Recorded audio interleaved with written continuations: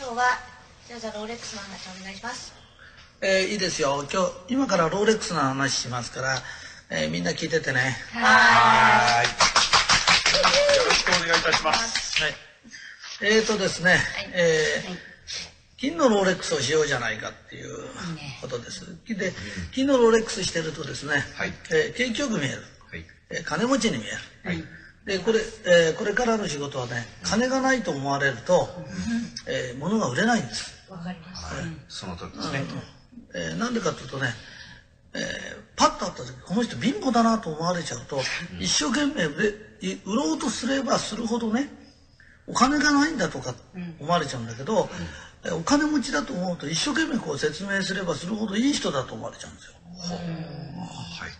で実際にこれも何人か実験してんだけども全然違うんです、でこの前もねあのロレックスしたら、いきなりね今までよく話聞いてくれなかった人までがね、話聞いてくれるようになった、えーだからあのよくお医者さんが権威があるどうのこうのって言うけど、権威どうのこうのっていうよりもお医者さんはお金持ってると思ってるからみんなね、あのあれだよ、あの言うこと聞こうと思うんで、一番貧乏な仕事が医者だよとかっつったら医者になり手もいないし話聞き手もいない、うん。それから家が傾いてるようなね病院に行きたがる人とかっていないでしょ、それと同じようにそういうあの貧乏人だと思われたらダメなんだよ。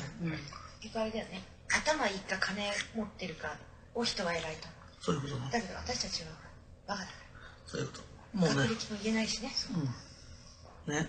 であのーみんなも月の大原則とかって読んでわかると思うんだけど、自分がどうじゃなくて人がどうやって見えるかっていうのが大切なの、それから月の大原則みたいなのもみんなも読んで知ってると思うんだけどいくら自分の殻を打ち破れててもね殻が破れないんですよ、でところがそういうのがローレックスやなんかしてると自分に自信がつくんです。でこのテープ聞いた後実際に手にローレックスつけてもらいたいその時の自分の感じそういうのを見てください。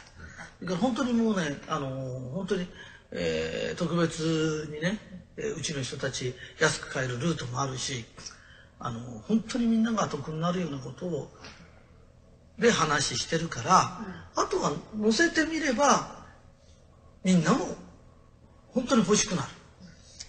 やっぱりね、えー世界で一番なんですよ、で、えー中にはピアジェだとかいろんな高い時計なんかあるけれど、誰もわからない、わからない。うん、わからないようなものしててもダメ、うん、趣味じゃないからね。そうそういうこと。趣味でやってんじゃないんだよ、これはあくまでも仕事のためだからね。それと各社長ねみんな大変な思いしてこのロレックス持ってきたりするからあのタンスにしまっとくような人は絶対買わないでね。タンスにしまっといたって売り上げには全然上がらないからね。本当にこれはユニフォームとして必要なの。ね、だからあのおまわりさんだったらちゃんと制服とかピストルとか手錠とかいるでしょ、それと同じようにあの商人として必要なんだよ、儲ね、かってる商い。そうそう。あのけ200円のタバコをさ節約してたりするような人が3500円ちょっと大きい声で言って。はいあのね200円のタバコをこう節約してほらやったりしてるような人だと、3500円の膝越しが高く思っちゃうじゃないですか。そうすると毎日パワーと一緒にっていうのがどうしてもクックッとこうなんとこう弱弱腰で言うようになっちゃうとその来たお客さんもせっかく買ったのに1個しか飲まないで治んないとか、うん。それから自信持って言わないからなんつうのそのまま相手も信じてもらえるかったり結局ねあの勝手にねこの人はお金持ってないんじゃないかと思うかって思って遠慮がちに言うと、お金を持ってないんじゃないかと思って遠慮がちに言ってるように見えないんですよ。自信がなくて、ううじょうじょ言ってるように見えるんだ、だからあんたの考えてることは全然逆のことなんだよ、って逆現象になっちゃってるんだよね。だからもうカスカスで生活とか普段過ごしてる人に一発逆転するには腕にロレックスしかないんでいつもそうやって豪華なものを見てると何百万もするものだからこう膝腰とかも当たり前にもうこんなの治るのにこんなの安いよって。それとねお金持ちの人が一人来だすと友達は全部金持ちなんです。そのともうね貧乏な人の友達って言うとらぐらい貧乏いやだから付き合えるんだ。そうなんですだからお金持ちの人が一人来ちゃうとその会社お金持ちの人っていうのはその人が何持ってるかとか何つけてるか見てるの。すごいわかるでねお金持ちの人ってのはお金持ちしか信用しないの。うん。本当なんだよ。だって貧乏してるってこと自体が物が売れてないんだよ。売れてないのは商品が悪いんだ。それは当たり前だよね。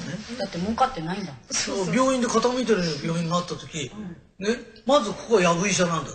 下手だから来ないんだと思うよね。先生の腕がいいとは思わないよね。思わないそれと同じように、あなたたちもそういう目で見られてるんだよ。ね。だから、じよくホテル行って、帝国ホテル行こうがないしは、ジーパンで T シャツで行こうがないしはね、パッと時計見ていい時計してると、全然ね、その全然違うんだから時計、あのジーパンまでが何万もするようなジーパンに見えるの。あとね本当は商人としてよくないけどデパートのさシャネルでも何でもさこう高級ブティックに入ると時計とか絶対見てるんだよ本当態度違うよねそれとね、中にこれ聞いてる人で、ロレックスって何ですかって人もいるんです。知らない人もいる。見たことない人もいるんです。でもあなたは知らなくても客は知ってるんですよ。しかもお金を持ってるお客さんと。お金を持ってるお客さんでロ ロレックス知らない人いないんで、お金を持ってる人っていうのは、まず頭がいいんです。でなぜかっていうと、あの、お金っていうのは、ある程度頭が良くないと持ってても維持できない。ね。もう増やすこともできない。それを持ってる人っていうのは最終的に、お金より命の方が大切だとか知ってんの。だから健康になるもの、それから美しくなるものにお金を惜しまないの。何十万、月何十万でも出すと死んじゃったら終わりだから。貧乏人だけでは命を惜しまない。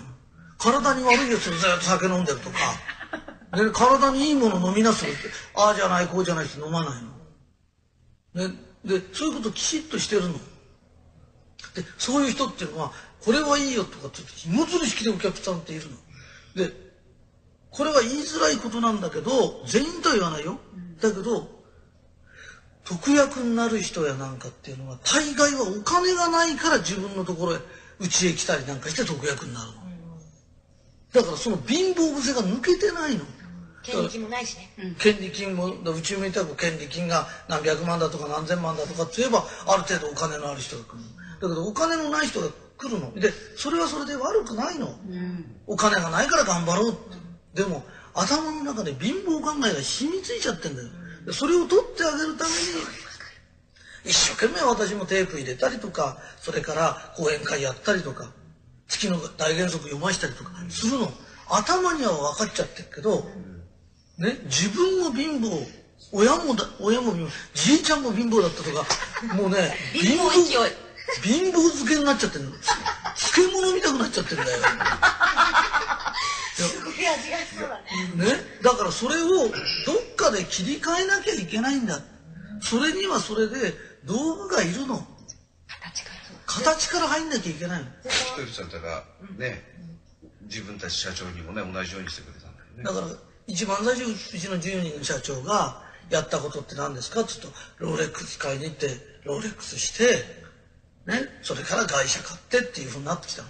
だからそれと同じような順番でもちろん極端なこと言うとおかしいけどサラリーマンって節約節約なの貧乏人は金出さないことばっかり考えるんだよ、だけどこの前今石井沢さんのテープ聞いてもらっても分かるけど今まで膝腰だけ売ってた人が膝腰と毎日パワーをセット売りしただけでローレックスができちゃうんだよね、それが本当は飽きんだな。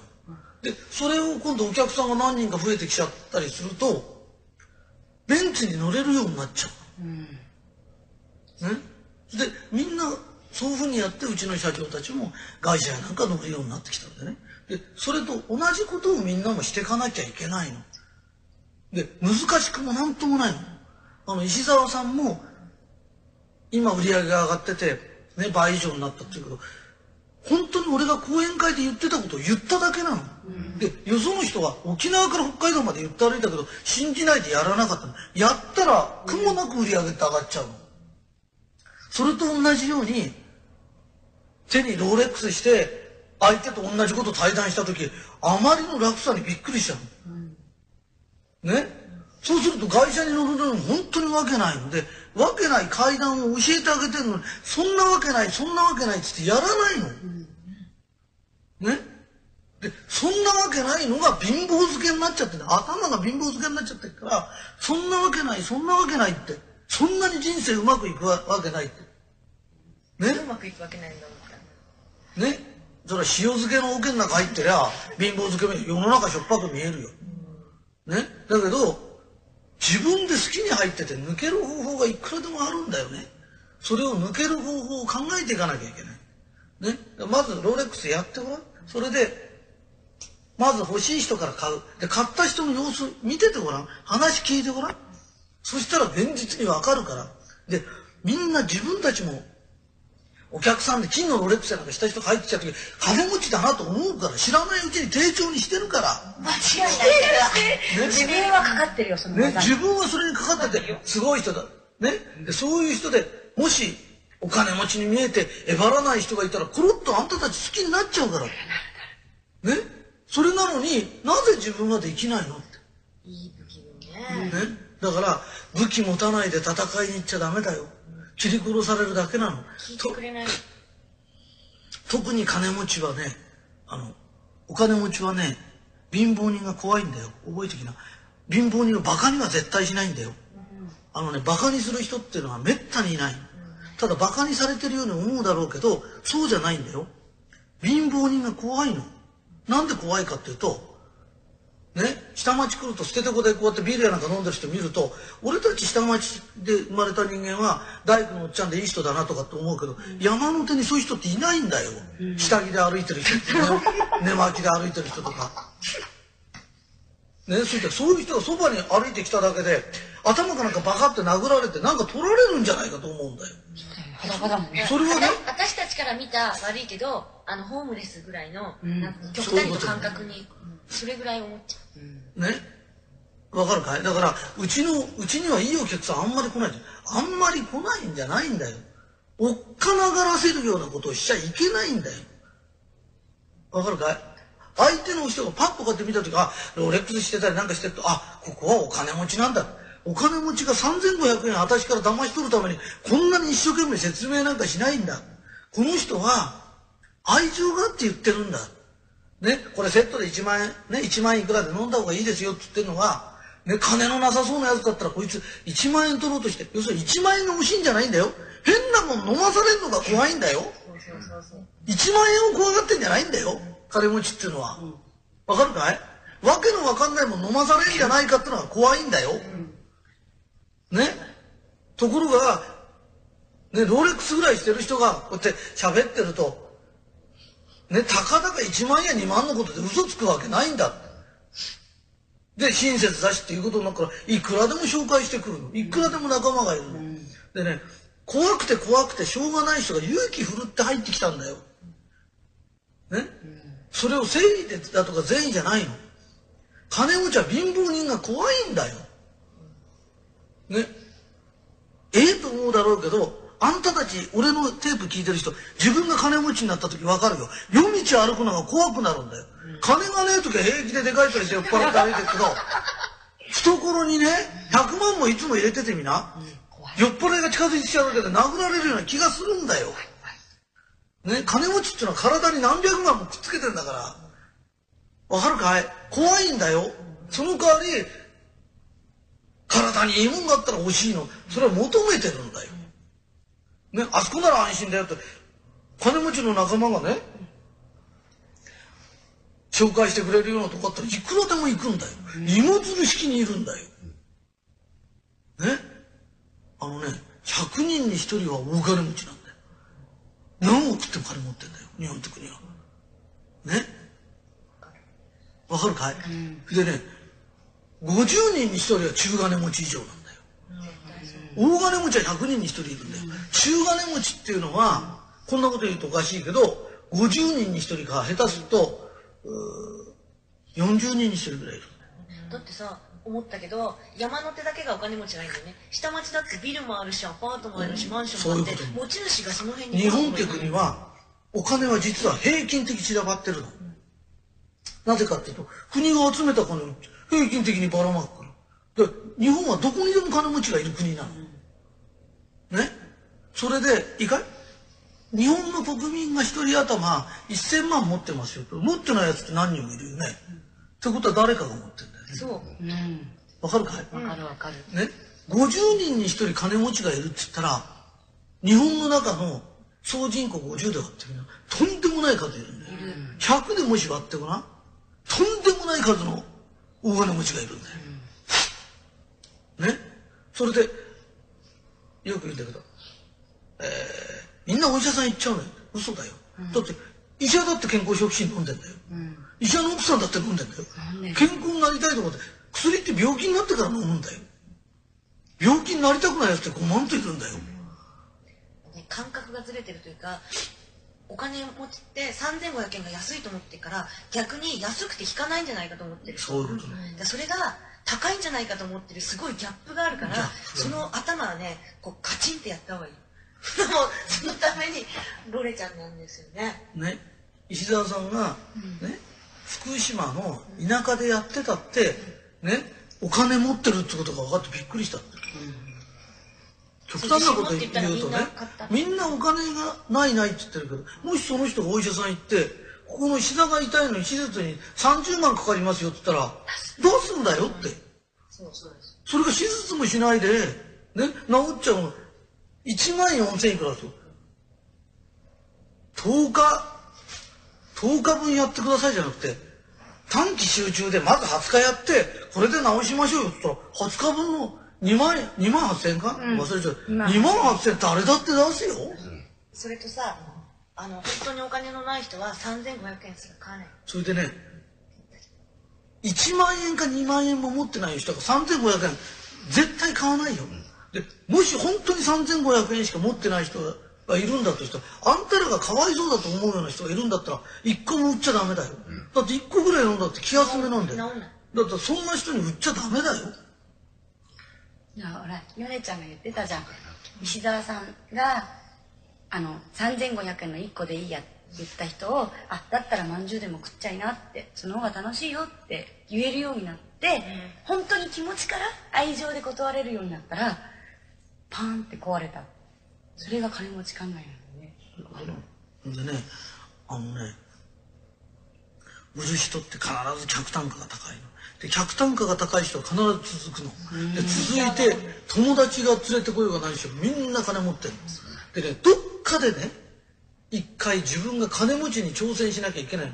どっかで自分の貧乏考え捨てないと、永久に貧乏してなきゃなんないの。あのねくすぶってる人はセット売りできてないのでね儲かってる人は必ずセット売りやって自信持って1個ならいいよって断れてる人あのね、一個の客でももったいなくて断れないっていうこと自体が貧乏くさいの。ほいや、本当だよ。よくわかるうん、いいよ、そんな、そのぐらいの客だったらね、来ないでいいよとかってね。だってかわいそうだもん1個しか買えないんだったら、あのね、たかだか3000円でもすごい金だと思って売り上げ上げようとしてるの。よしな。もうね、ずーっと永久、永久にね、貧乏してる。ね。で、そういう客ばっかり集めてると、最終的にね、同じ薬屋さんでも、あそこ行くとね、5円安いとか1円安いとかで、みんなそういう客って行っちゃうんだよ。ういう感覚そんな客ばっかしね、取り合ってたってしょうがないの。ね。いらないから、そういう客って。ね。うちに来る客はね、質が違うんだ。ね。うちに来る、来る客はね、あの、なんつうの？もうみんなね、金持ってる人なんだっていう。でね、金持ちに安心させて、金持ちが来れるように。ね。それを、ね、私いくらって貯金通帳見せられないでしょって。あとさお金持ちに見てあげるって相手は嬉しいんだよ。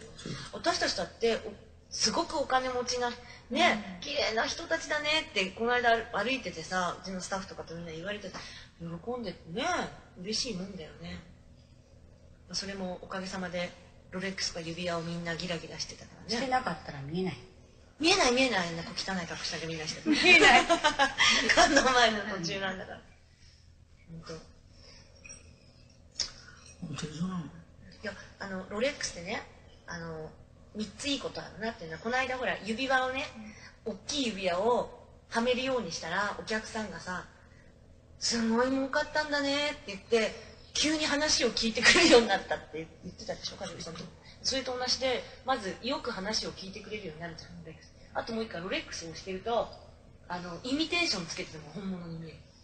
それからあのジーパンとか履いててもあ好きで着てんだなと思われるか2900円のが1万円とかに見えちゃう相手から。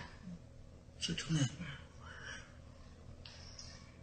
お金を持ってる人の話は聞くの。わかるよね、それと貧乏人の話は聞かないんだよ。いい話してるもクソもないんだよ。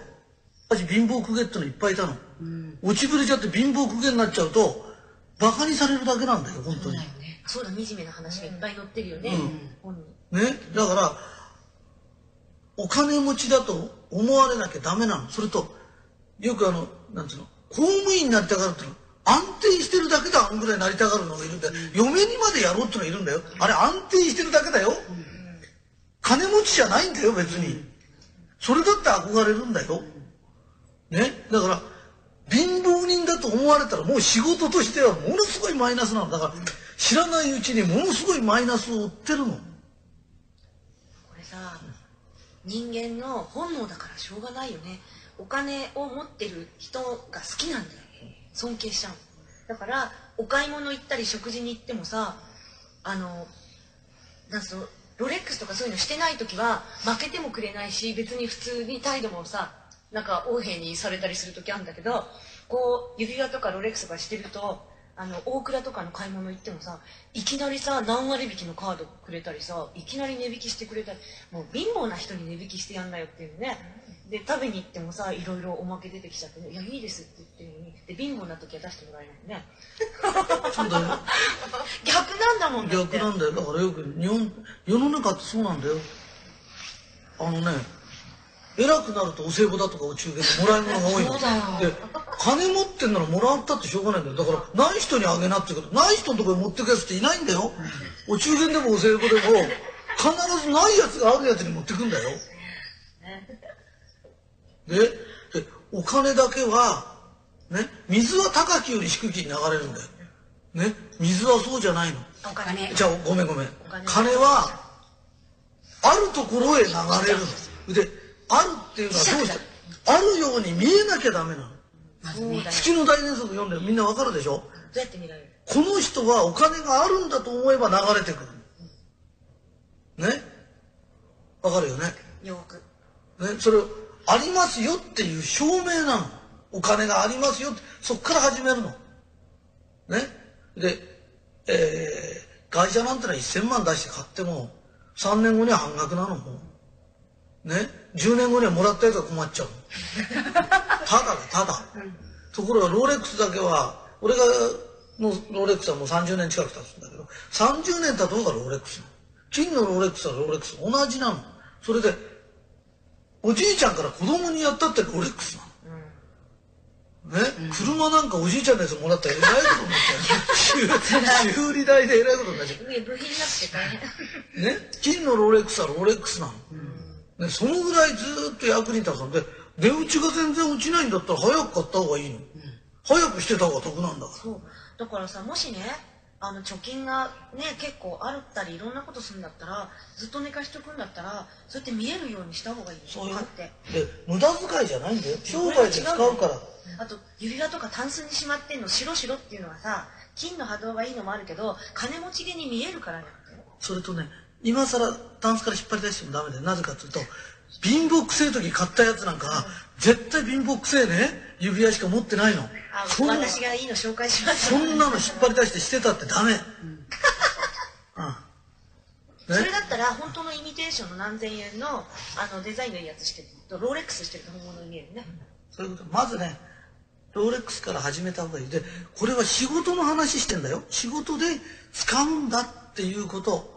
このことを頭の中にしっかり入れといてもらいたいの。ね？そうすれば、商売の意味合いでわかるからね。じゃあ、そのことがわかんないと、買ったんだけどまだしまってありますとかっていう、じゃあ返してもらおううん、ことになるからね、それだったら返してくれって話になっちゃうからねお金欲しがってる人いっぱいいるから、ね、しっかりそのことが分かってる人間それがしなくちゃしょうがないんだよっていうことです。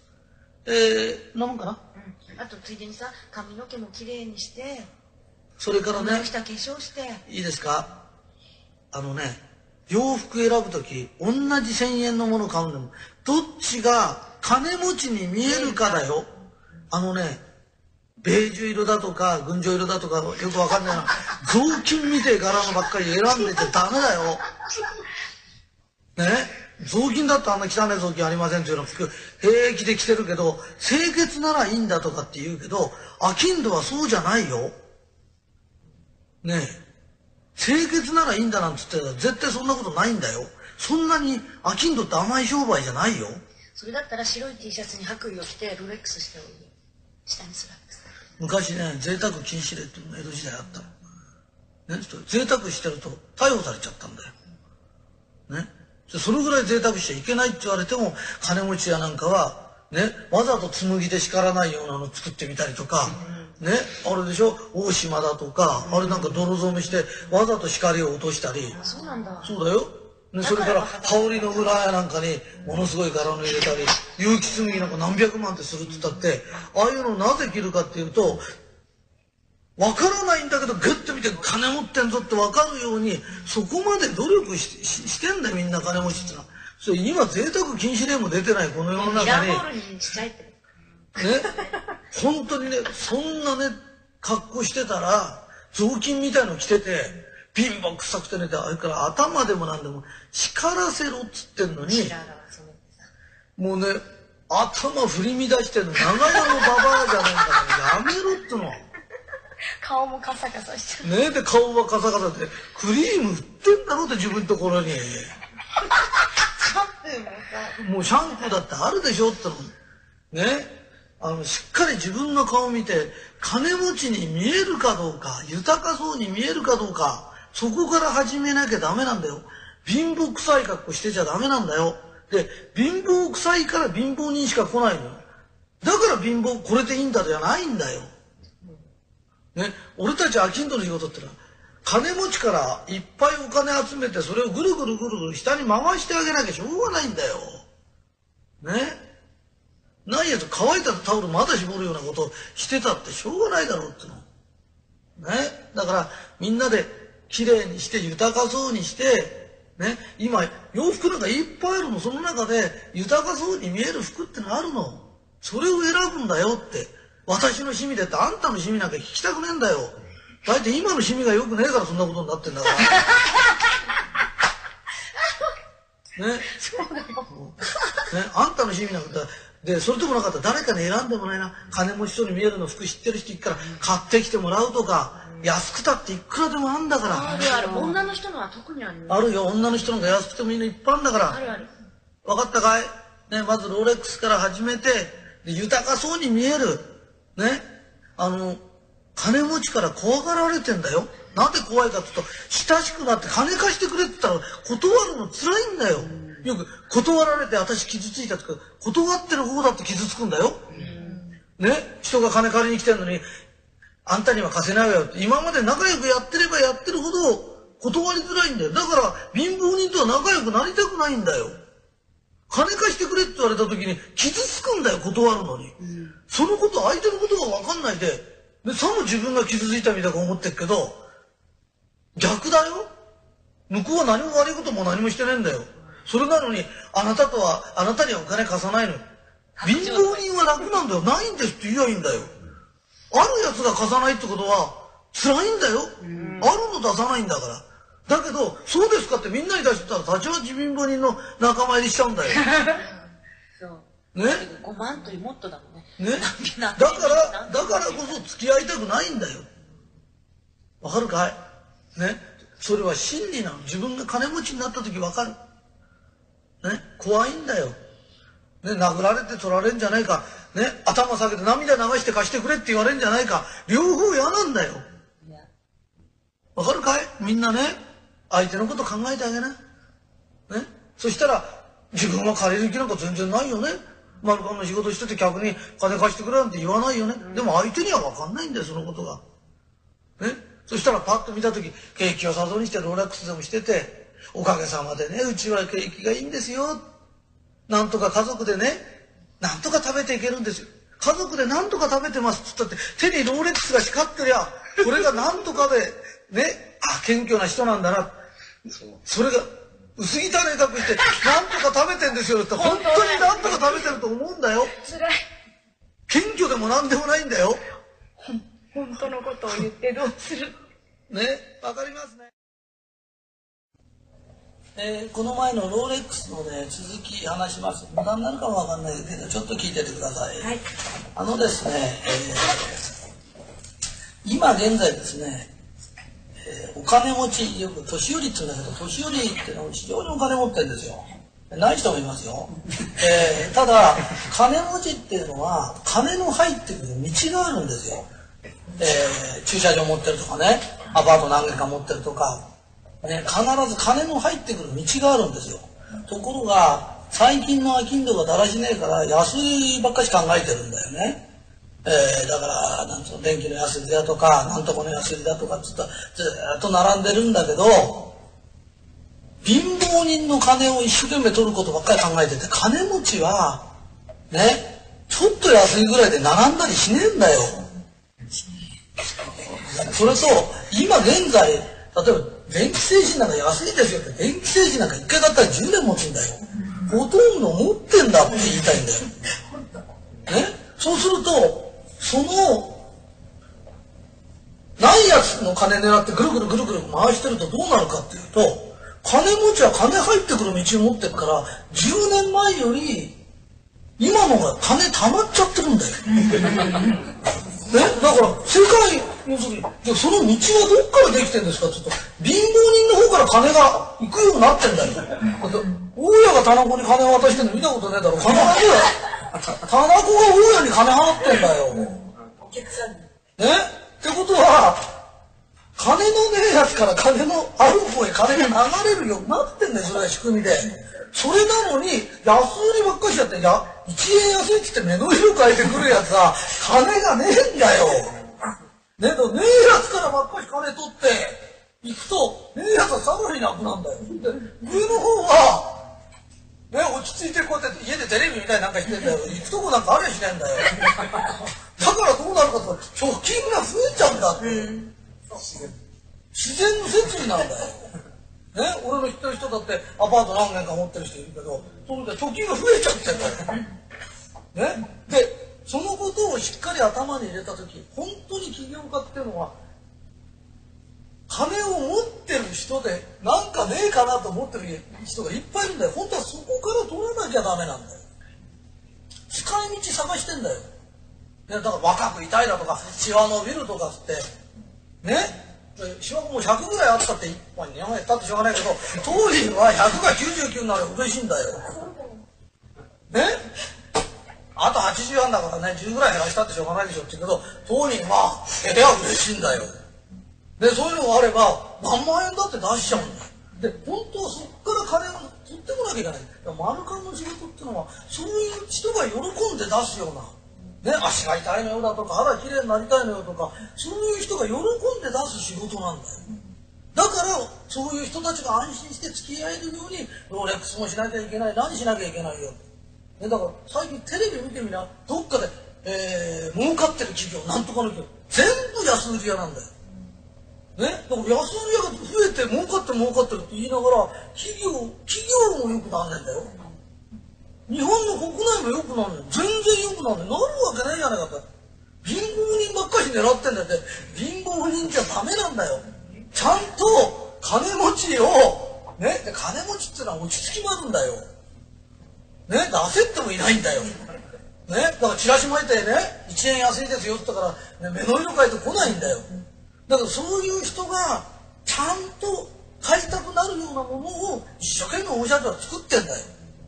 ね、だからそれを人たちを集めてそういう人に売る。それでちゃんと経済を動かすことがマルカンの使命なんだこれができない限りいつまでたってもどんどんどんどんお金は使わないところへ溜まってっちゃう。んだよね、そ溜まった分だけこっちは苦しくなるんだよ下が。だんだんだんだん苦しくなるの分かるでしょ？向こうへ溜まってっちゃってんだよ。ね、だから下の方はどんどんどんどん上がってて下から下ろす人がいないから。ねどんどん苦しくなってっちゃう。んだよで1200兆円あった金が1400兆円ですよその分みんな金持ちのところで溜まっちゃうんだよ。わかるよね。だこれから今だってそうなんだよ。これを下ろす我々まあきんとかまともな仕事しなきゃいけないんだよ。それで死体を下ろしちゃう。で OK ですね。こういう目で見られてるんだよ、ねだからじよくホテル行って帝国ホテル行こうがないしはジーパンで T シャツで行こうがないしはねパッと時計見ていい時計してると全然違う。ねその全然違う。だから時計あのジーパンまでが何万もするようなジーパンに見えるの。あとね本当は商人としてよくないけどデパートのさシャネルでも何でもさこう高級ブティックに入ると時計とか絶対見てるんだよ。本当態度違うよね。それとねあの中にこれ聞いてる人でロレックスって何ですかって人もいるんです、知らない人もいる。見たことない人もいるんです、でもあなたは知らなくても客は知ってるんですよ、しかもお金を持ってるお客さんと。お金を持ってるお客さんでロロレックス知らない人いないんでお金を持ってる人っていうのはまず頭がいいんです。でなぜかっていうとあのお金っていうのはある程度頭が良くないと持ってても維持できない。ね。もう増やすこともできない。それを持ってる人っていうのは最終的にお金より命の方が大切だとか知ってんの。だから健康になるものそれから美しくなるものにお金を惜しまないの何十万月何十万でもなすと死んじゃったら終わりだから。貧乏人だけでは命を惜しまない体に悪いやつずっと酒飲んでるとか。で体にいいもの飲みなすって。ああじゃないこうじゃないって飲まないの。ね、でそういうこときちっとしてるの。でそういう人っていうのはこれはいいよとかって芋づる式でお客さんっているの。でこれは言いづらいことなんだけど全員とは言わないよ。だけど特約になる人やなんかっていうのは大概はお金がないから自分のところへ家へ来たりなんかして特約になるの。だからその貧乏癖が抜けてないの。権利金もないしね。権利金もうちみたく権利金が何百万だとか何千万だとかって言えばある程度お金のある人が来るの。だけどお金のない人が来るの。でそれはそれで悪くないの、お金がないから頑張ろうって、でも頭の中で貧乏考えが染みついちゃってんだよ。でそれを取ってあげるために一生懸命私もテープ入れたりとかそれから講演会やったりとか月の大原則読ましたりとかするの。頭には分かっちゃってるけど、ね、自分も貧乏親もだ親も貧乏じいちゃんも貧乏だったとかもうね貧乏貧乏漬けになっちゃってるの。漬物みたくなっちゃってるんだよ、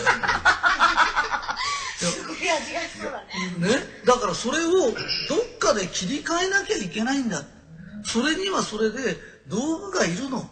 形から形から入んなきゃいけないの。ひとりさんとかね、自分たち社長にもね同じようにしてくれたんだよね。だから一番最初うちの10人の社長がやったことって何ですか？って言うとローレックス買いに行ってローレックスして、ね、それから外車買ってっていうふうになってきたの。だからそれと同じような順番でもちろん極端なこと言うとおかしいけどサラリーマンって節約節約なの貧乏人は金出さないことばっかり考えるんだよ、だけどこの前今石井沢さんのテープ聞いてもらっても分かるけど今まで膝腰だけ売ってた人が膝腰と毎日パワーをセット売りしただけでローレックスができちゃうんだよね、それが本当は飽きんだなでそれを今度お客さんが何人か増えてきちゃったりするとベンツに乗れるようになっちゃう、ね、でみんなそういうふうにやってうちの社長たちも会社やなんか乗るようになってきたんでね。でそれと同じことをみんなもしていかなきゃいけないの。で難しくもなんともないの。あの石澤さんも今売り上げが上がってて、ね、倍以上になったっていうけど本当に俺が講演会で言ってたことを言っただけなの、でよその人は沖縄から北海道まで言って歩いたけど信じないでやらなかったの。やったら苦もなく売り上げって上がっちゃうの。それと同じように手にローレックスして相手と同じこと対談した時あまりの楽さにびっくりしちゃうの、ね？そうすると会社に乗るのに本当にわけないのでわけない階段を教えてあげてるのにそんなわけないそんなわけないっつってやらないの、ね？でそんなわけないのが貧乏漬けになっちゃって頭が貧乏漬けになっちゃってるからそんなわけないそんなわけないって。そんなに人生うまくいくわけないって。ね？うまくいくわけないんだもんかね？それは塩漬けの桶の中入ってりゃ貧乏漬けも世の中しょっぱく見えるよ。ね？だけど自分で好きに入ってて抜ける方法がいくらでもあるんだよね。それを抜ける方法を考えていかなきゃいけない。ねまずロレックスやってごらん。それでまず欲しい人から買う。で買った人の様子見ててごらん。話聞いてごらん。そしたら現実にわかるから。でみんな自分たちもお客さんで金のロレックスやなんかした人が入ってきた時金持ちだなと思うから知らないうちに丁重にしてるから、間違いない自分はかかってるよそのね、自分はそれにかかっててすごい人だ、ね、でそういう人でもしお金持ちに見えてえばらない人がいたらコロッとあんたたち好きになっちゃうから。ね。それなのになぜ自分はできないの？っていい武器にね、ね、だから武器持たないで戦いに行っちゃダメだよ切り殺されるだけなの。聞いてくれない。特に金持ちはねあのお金持ちはね貧乏人が怖いんだよ。ほらヨネちゃんが言ってたじゃん。石澤さんがあの3500円の1個でいいやって言った人をあだったらまんじゅうでも食っちゃいなってその方が楽しいよって言えるようになって、本当に気持ちから愛情で断れるようになったらパーンって壊れた。それが金持ち考えなのねでねあのね売る人って必ず客単価が高いの。で客単価が高い人は必ず続くの。で続いて友達が連れてこようが何しろみんな金持ってるの。でねどっかでね一回自分が金持ちに挑戦しなきゃいけないの。どっかで自分の貧乏考え捨てないと永久に貧乏してなきゃなんないの。あのねくすぶってる人はセット売りできてないの、でね儲かってる人は必ずセット売りやって自信持って1個ならいいよって断れてる人。あのね一個の客でももったいなくて断れないっていうこと自体が貧乏くさいの。いや本当だよ。よくわかる、いいよそんなそのぐらいの客だったらね来ないでいいよとかってね。だってかわいそうだもん1個しか買えないんだから、あのねたかだか3,000円でもすごい金だと思って売り上げ上げようとしてるの。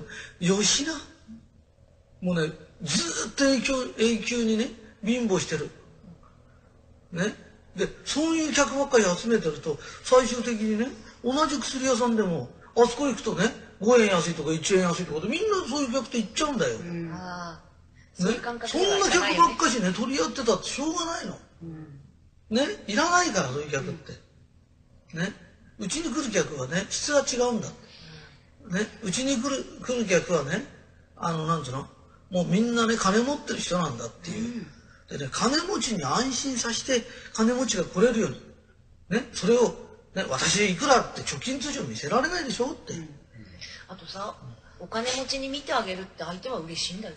私たちだっておすごくお金持ちなね綺麗な人たちだねってこの間歩いててさうちのスタッフとかとみんな言われて喜んでてね嬉しいもんだよね。それもおかげさまでロレックスか指輪をみんなギラギラしてたからね。してなかったら見えない。見えない見えない。あんな小汚い格好したでみんなして見えない。観音前の途中なんだから。本当。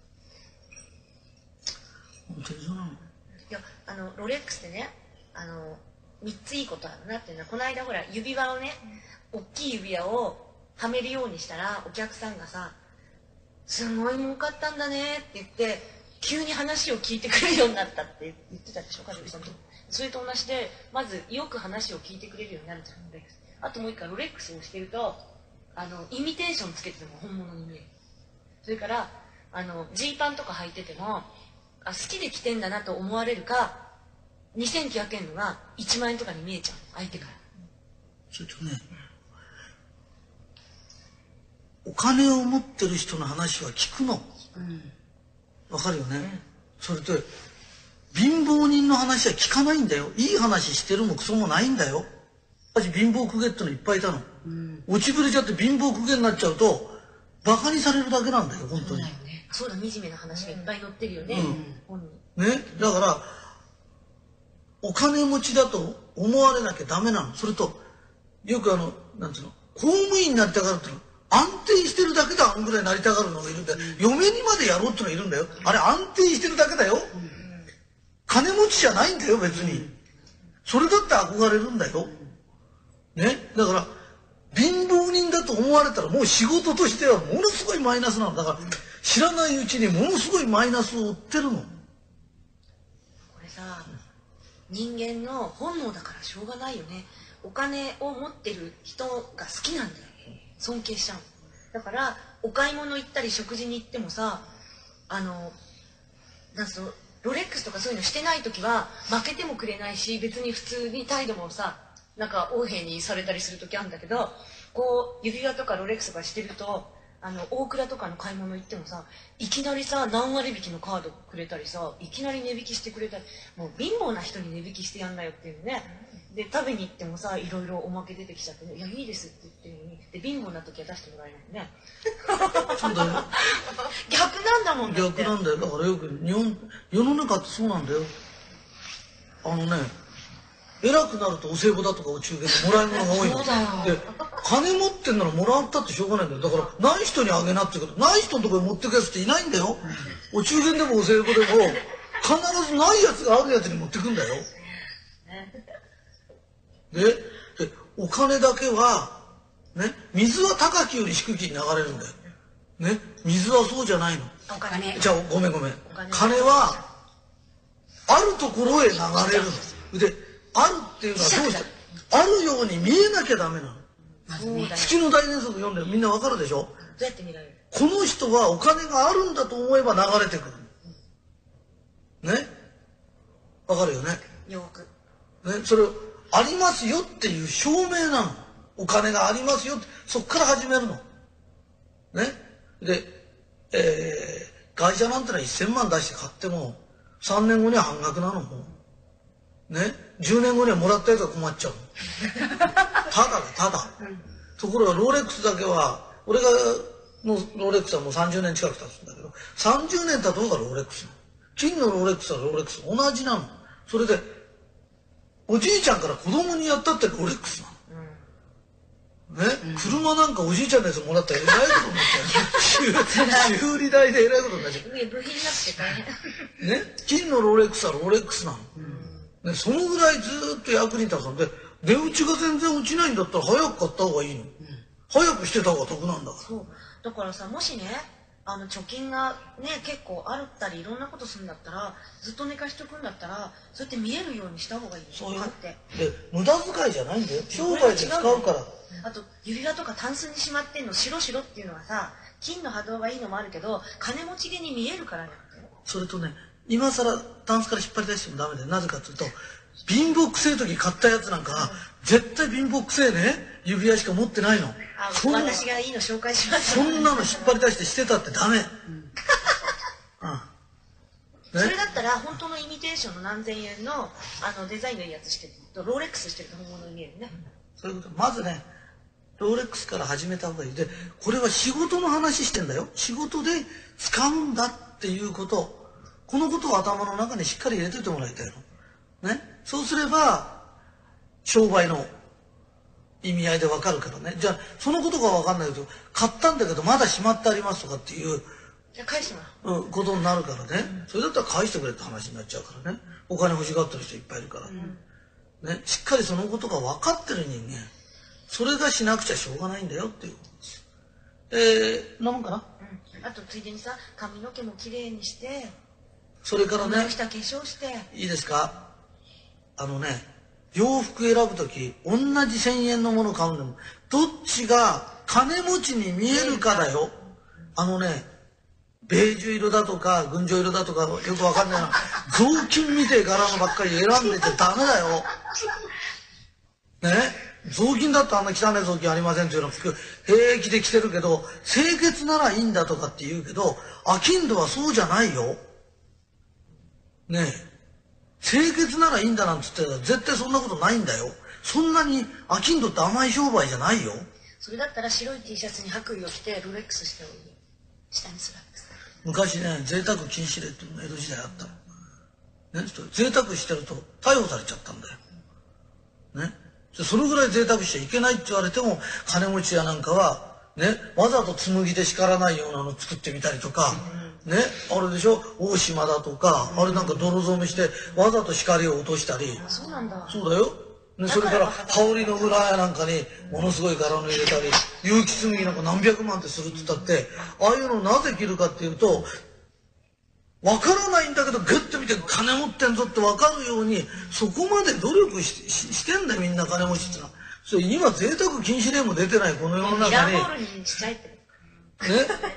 本当にねそんなね格好してたら雑巾みたいの着てて貧乏臭くてねあれから頭でもなんでも叱らせろっつってんのにもうね頭振り乱してんの。長屋のババアじゃないんだからやめろっての。顔もカサカサしちゃう。ねで顔はカサカサでクリーム売ってんだろって自分のところに。もうシャンプーだってあるでしょっての。ねあのしっかり自分の顔見て金持ちに見えるかどうか豊かそうに見えるかどうかそこから始めなきゃダメなんだよ。貧乏臭い格好してちゃダメなんだよ。で貧乏臭いから貧乏人しか来ないのよ。だから貧乏これでいいんだじゃないんだよ。ね、俺たち商人の仕事ってのは金持ちからいっぱいお金集めてそれをぐるぐるぐるぐる下に回してあげなきゃしょうがないんだよ。ね？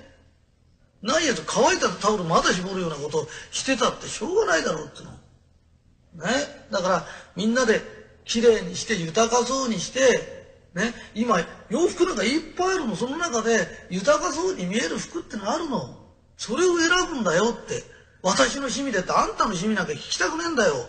だいたい今の趣味が良くねえからそんなことになってんだから。ね。そう。ね、あんたの趣味なんかで、それともなかったら誰かに選んでもないな。金持ちそうに見えるの服知ってる人いっから買ってきてもらうとか、安くたっていくらでもあんだから。あるある女の人のは特にあるあるよ、女の人なんか安くてもいいのいっぱいあるんだから。あるある分かったかい？ね、まずロレックスから始めて、で豊かそうに見える。ね。あの、金持ちから怖がられてんだよ。なんで怖いかって言うと、親しくなって金貸してくれって言ったら断るの辛いんだよ。よく断られて私傷ついたとか、断ってる方だって傷つくんだよ。ね？人が金借りに来てんのに、あんたには貸せないわよって、今まで仲良くやってればやってるほど断りづらいんだよ。だから貧乏人とは仲良くなりたくないんだよ。金貸してくれって言われた時に傷つくんだよ断るのに、そのこと相手のことが分かんないででさも自分が傷ついたみたいに思ってるけど逆だよ向こうは何も悪いことも何もしてねえんだよそれなのにあなたとはあなたには今日はじゃあじゃあローレックスの話お願いしますえーいいですよ今日今からローレックスの話しますから、えーみんな聞いててねはーい。よろしくお願いいたします。はいえーとですね、えー金のローレックスをしようじゃないかっていうことです。で、金のローレックスしてるとですね、はいえー景気よく見える、はい。えー金持ちに見える。はい。で、これ、えーこれからの仕事はね、金がないと思われると、えー物が売れないんです。わかりますはい。その時ですね。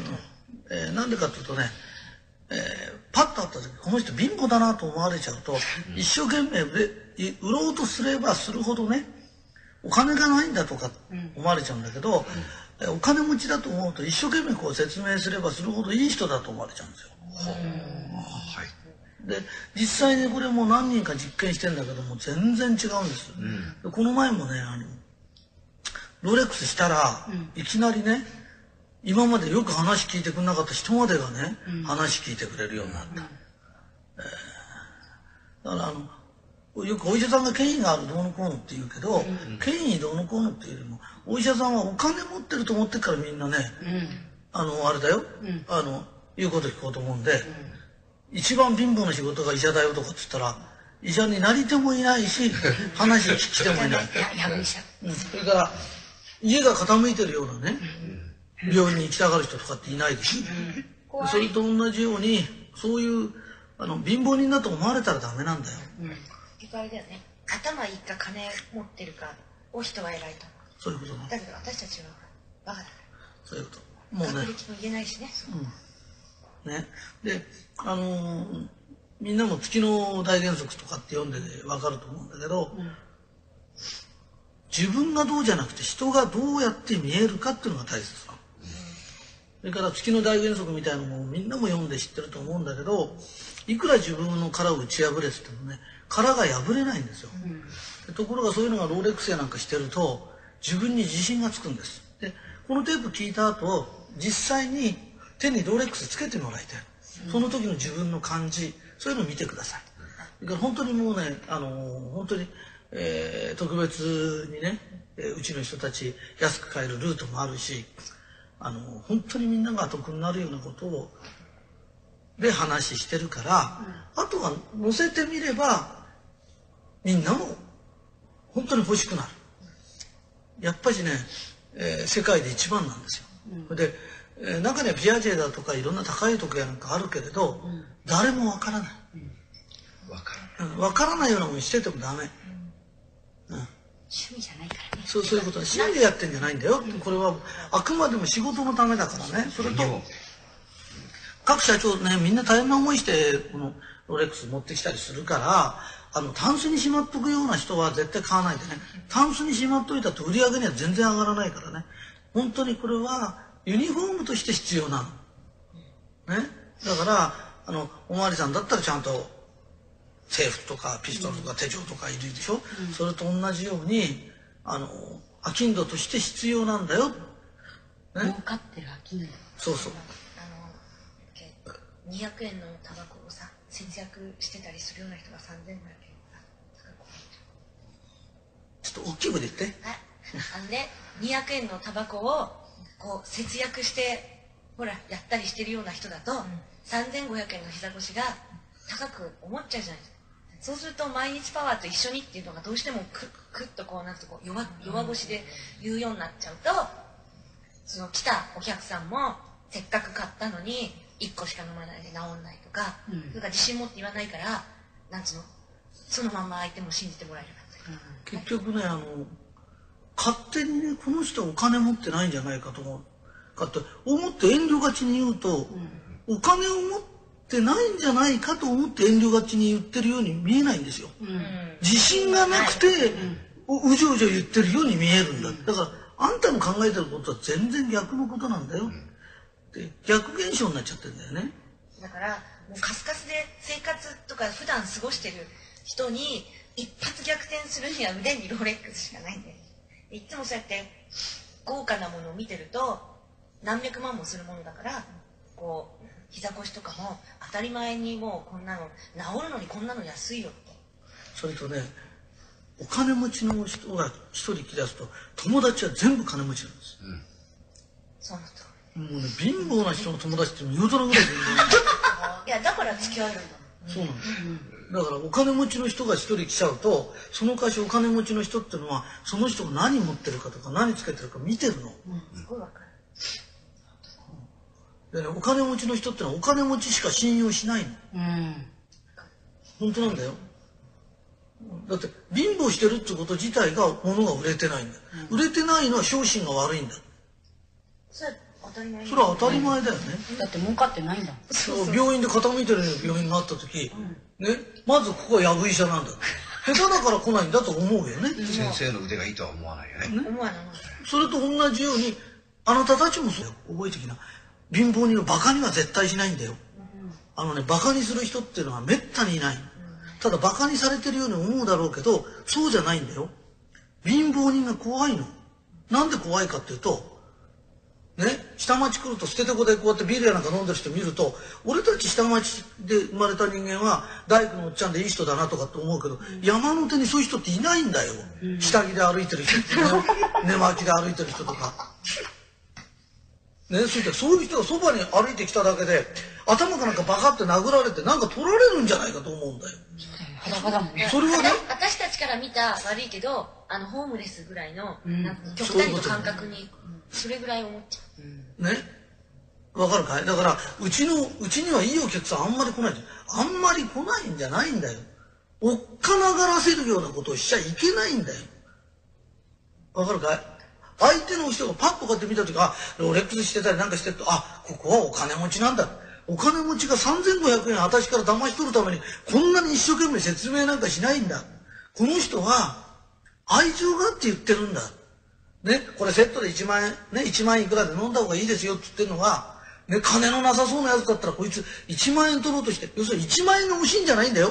変なもん飲まされるのが怖いんだよ。1万円を怖がってんじゃないんだよ。金持ちっていうのは。わかるかい？わけのわかんないもん飲まされるんじゃないかっていうのが怖いんだよ。ねところが、ね、ロレックスぐらいしてる人がこうやって喋ってると、ね、たかだか1万や2万のことで嘘つくわけないんだ。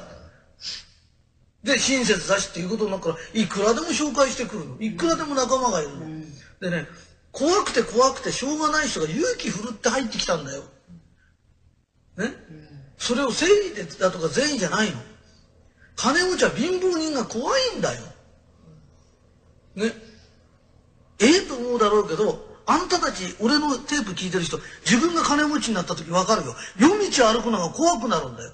金がねえ時は平気ででかい声して酔っ払って歩いてるけど、懐にね、100万もいつも入れててみな。酔っ払いが近づいてきちゃうだけで殴られるような気がするんだよ。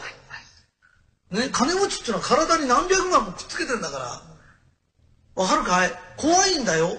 その代わり、体にいいもんがあったら欲しいの。それは求めてるんだよ。ね、あそこなら安心だよって。金持ちの仲間がね、紹介してくれるようなとこあったらいくらでも行くんだよ。芋づる式にいるんだよ。ね？あのね、100人に1人は大金持ちなんだよ。何億っても金持ってんだよ、日本的には。ね？わかるかい、うん、でね、50人に1人は中金持ち以上なんだよ。大金持ちは100人に1人いるんだよ。中金持ちっていうのは、こんなこと言うとおかしいけど、50人に1人か下手すると、40人に1人ぐらいいる。だってさ、思ったけど山手だけがお金持ちがいいんだよね。下町だってビルもあるしアパートもあるし、マンションもあって持ち主がその辺に日本って国はお金は実は平均的散らばってるの、なぜかっていうと国が集めた金を平均的にばらまくからで日本はどこにでも金持ちがいる国なの、ね？それでいいかい？日本の国民が一人頭1000万持ってますよと持ってないやつって何人もいるよね、ってことは誰かが持ってるそう。わ、うん、かるかい？わかるわかる。ね？50人に1人金持ちがいるって言ったら、日本の中の総人口50で割ってみな。とんでもない数いるんだよ。100でもし割ってごらん。とんでもない数の大金持ちがいるんだよ。ね？それで、よく言うんだけど、えー、みんなお医者さん行っちゃうのよ。嘘だよ。だって、医者だって健康食品飲んでんだよ。うん医者の奥さんだって飲んでんだよ。健康になりたいと思って、薬って病気になってから飲むんだよ。病気になりたくないやつって5万といるんだよ。感覚がずれてるというか、お金持ちって3500円が安いと思ってから逆に安くて引かないんじゃないかと思ってる。そういうことね、それが高いんじゃないかと思ってるすごいギャップがあるからその頭はねこうカチンってやった方がいい。で もそのためにロレちゃんなんですよね。ね。石澤さんがね、うん。福島の田舎でやってたってねお金持ってるってことが分かってびっくりした。って、極端なこと言うとねみんなお金がないないって言ってるけどもしその人がお医者さん行ってここの膝が痛いのに手術に30万かかりますよって言ったらどうすんだよって、それが手術もしないでね治っちゃうの。1万4000いくらですよ。10日10日分やってくださいじゃなくて、短期集中でまず20日やって、これで直しましょうよって言ったら、20日分の2万円、2万8000円か、うん、忘れちゃう。2万8000円誰だって出すよ。